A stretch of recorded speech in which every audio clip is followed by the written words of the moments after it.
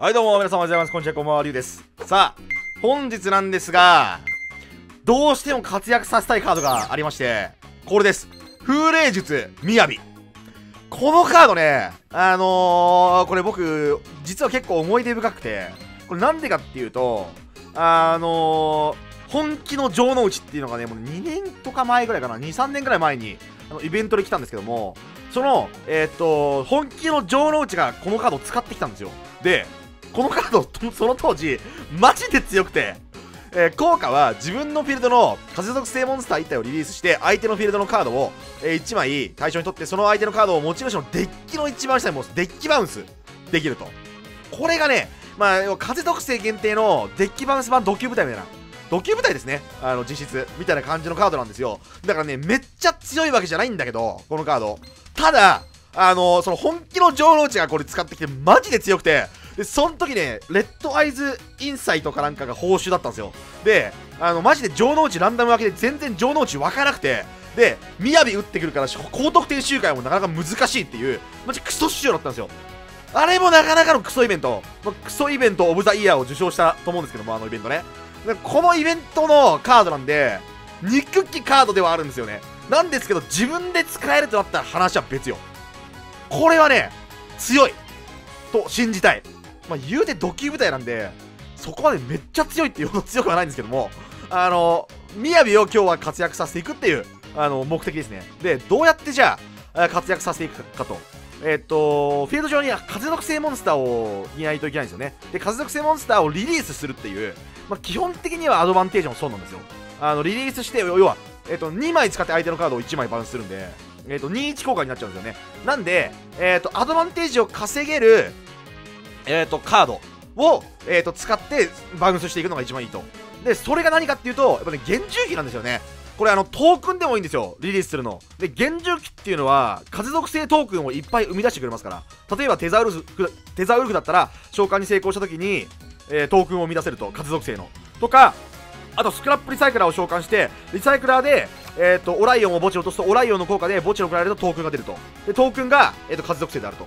なのでこういうトークンを使って、えー、とこのみやびでリリースして相手のカードをデッキバウンスしていくと。いうイメージですね。で、えー、とデッキバウンスがテーマになってますんで、えー、と最強のデッキバウンスカード入れました、えー、ウェブフォースっていう。これ意外と決まります。これね今意外とねウェブフォースってみんな頭の中から抜けてるじゃないですか。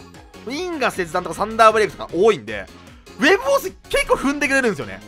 なんでこれ結構ふざけて入れたんですけど結構強いです。であとは露覚装置っていうカードね。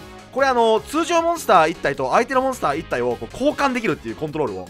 なんでこれ結構テザウルフとかあのオライオンのトークンとかと相性がいいんですよ。なんでこれまあエネパックみたいなイメージですかね。でこれガン積みと、まあ、ちょっとね若干ネタ要素高いかと思いきや意外となんとかなるし意外と強いっていう、えー、デッキになりましたんで早速風霊術みやびとね波紋のバリアをウェーブフォースでひたすらにデッキバウンスかましていきましょう。デュエルスタンバイ。さああ出た。流星君じゃないですか。行くぞ流星今の君に私は倒せない。限界を超える限りは。最強カード。事故ってるけど事故ってない風に見せるカード。事故ってるけど事故ってない風に見せるカードなんですよこれは。さあ来いよ。かましてやるぜ。デッキバウンスをな。強制退社させてやるぜ。お前のモンスターは。デッキにな。やっぱデッキバウンスって最強ですよね。一番強い。本当に。デッキバウンスっていう効果が。さあ絆か？おっと？エクシーズ召喚何？何？なんかやるな貴様。俺の刃物バリアウェイフォースを読み切ったか？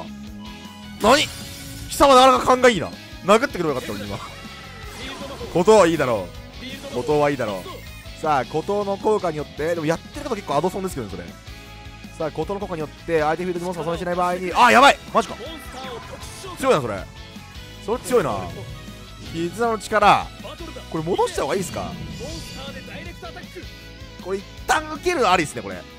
一旦受ける結構ありですねこれ。これ次の次のぶん殴りであのー、戻してあげた方がいいみたいな話ありますよねこれね。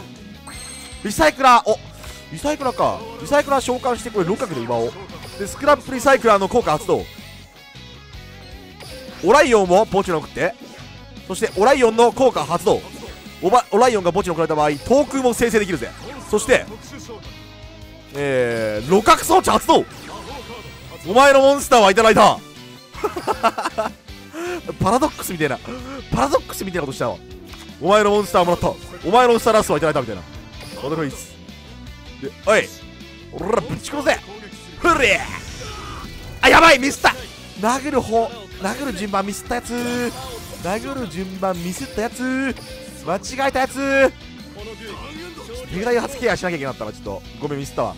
ちょ900やばいな。900と1200足して。えー、っと2100 2100あの打点があるモンスター出てくるとやばい。あやばい。これガルドニクス出てきたら終わる。やばいやばいやばいやばい。ミスった。まずいまずいまずいまずい。画面車画面車あった今。ガレーシャはいいだろう。やばいやばいやばい。ちょっと普通にミスった。これスクラップリサイクラーの属性今から風に変更できませんかね。これやばいやばいやばいやばいやばい。線は線は大丈夫。線は大丈夫。あ線は大丈夫。危ね線は大丈夫。オッケー。線は大丈夫。線は大丈夫。ドロー。テザウルフ来た。テザウルフ来た。テザウルフ来た。えー、モンスター効果発動してちょっと一応あの手札が何なのかちょっと考えましょうか。これ手札炎属性モンスターじゃねえな。炎属性モンスターじゃねえわ。ってことはあれ？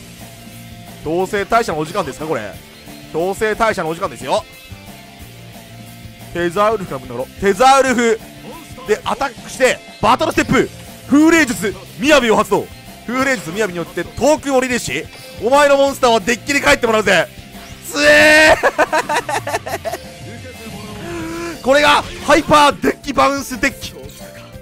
ひたすら相手のカードをデッキに戻しまくる。最強戦術だ。何が強いってのこの波紋のバリアウェーブフォースめっちゃ強いと思うんだよね今。これがシンクロの先にある答え。限界を打ち破る境地だ。1ミリもシンクロ召喚してないけどな。さあお相手の方シャークさんよろしくお願いします。デュエル3倍さあシャークさんですかシャークさんこれサメちゃんがどのぐらい強いかですね。これでもバック干渉入ってんのかな。さあカッターシャークいいだろう。さあサイレントアングラー来た。なるほどな。これあのフィッシャーチャージ入ってるあの賢者の方のデッキだとちょっとやばいんですけども。普通のデッキやったらまあ大丈夫ですね。あバハムートシャーク。やべ入ってそう。やべえ入ってそうじゃないこれ。なんかバハムートシャーク。いやこれ。入入ってるくせえなこれ。リアロシャーク来た。セットエンドなるほどね。セットエンドなるほど。波紋めっちゃ来た。光る。光るか？光るか？光る。光るんだったらこれあれだな。あのー、あれじゃないね多分。えー、っとフィッシャーチャージではないわ。フィッシャーチャージではない。ってことは波紋のバリアはウェーブフォースが分散さると見た。俺は。さあデッキにバウンスさせてもらうぜ。さあカードセットいいだろう。さあデッキにカードをひたすらバウンスさせてもらうぜ。波紋のバリアウェーブフォースを食らいな。さあ殴ってこい。殴ってこい。俺を殴れさあ。さあ俺を殴れ。シャーク。何？貴様！てめえてめえなかなかてめえなかなかやるな。波紋のバリアウェーブフォースケアしてきた。分断の壁ケアかもしんねえけど。刃物のバリアとは読んでないはず。さすがに。ドロうんテザーウルフかな。テザーウルフを召喚。そしてテザーウルフのモンスター効果発動。トークンを1個生成するぜ。そして手札より最強のマジックカード。ロロ角装置発動。ロ角装置によって通常モンスターを相手に送りつけてお前のモンスターはいただくぜ。お前のモンスターはいただいた。お前のモンスターはいただいた。言ってることマジパラドックスなんだよな。清掃？それ意味ないぞ。このロ角装置はフィールドのモンスターじゃなくてプレイヤーに強いる効果なんで清掃別に関係ないですねこれ。清掃は別に関係はない。それそれに打つってどういうこと？謎プレイング来た。謎プレイング来た。ゴミプレイング来た。でもワンキルあワンキル取れない。なんだてめえ。何？ワンキル取れないだと。貴様うまいな。狡猾。あーでもそれはトークンがいるんで死にませんね。テザウルフは。テザウルフはフィールドにトークンがいると死にませんので。よしよしよしよしよしよしよし狡猾ケアできてるぜ、まあ、ケアしたわけじゃないけど。これは最強だぜ。私を倒してみろ。強すぎか？相手のも相手のフィールドガラきになったぞ。強すぎか？このデッキ。風雷術雅であとは相手のカードをバウンスしていくっていうだけだな。何？いいだろう。何が出てくる？重装兵からの？サイレントアングラー。なるほど。いいでしょう。これ出てきたモンスターをバウンスしてあげればいいって話ですねこれね。出てきたモンスターをバウンスしてあげれば全く問題はないと。はいはいはいはい。スパイダーマンね。オッケー。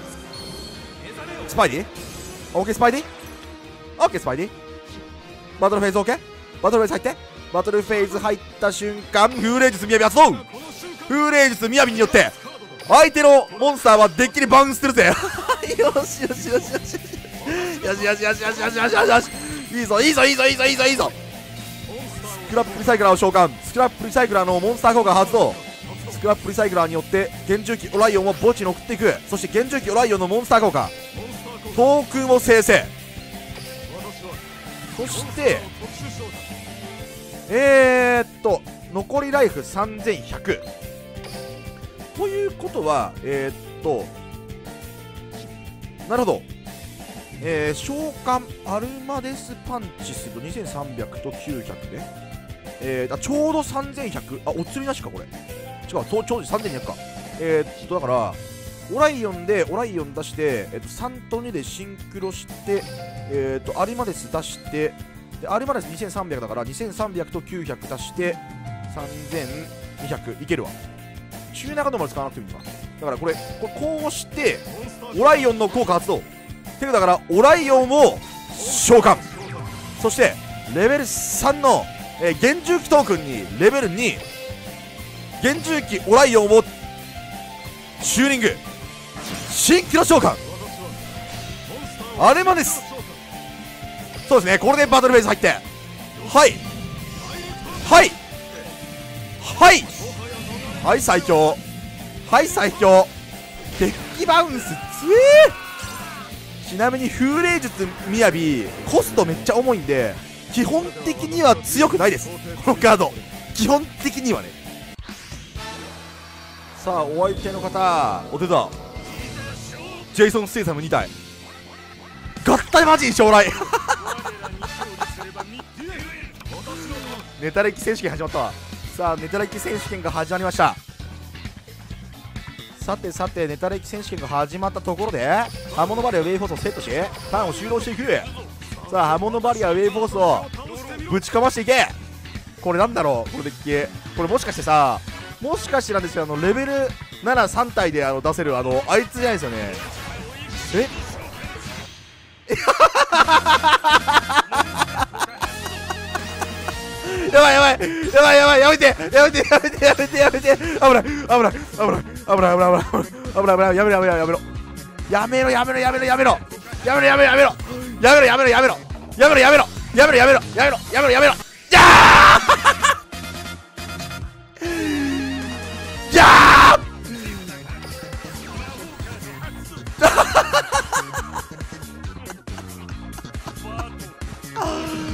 強すぎるだろ。